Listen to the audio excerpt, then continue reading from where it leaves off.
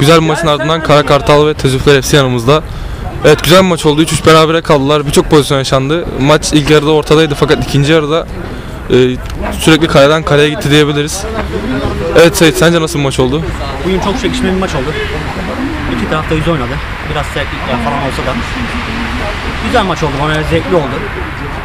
Sakatlanan falan olmadı. Yani oyunun hakkı bence beraberlikti. Öyle bitti. Ben de arkadaşlara tebrik ediyorum. Yine de maç bitti, her şey bitti yani. Evet Dal sen ne diyorsun? Ben de çok çekici bir maç oldu zaten skordan da belli. Biraz sert yapıldı. Özellikle. Ama yine de iyiydi yani zevkli bir maçtı. Bitmesini istemedik. Dostluk kazandı. Dostluk kazandı. Evet teşekkürler. Akşamlar.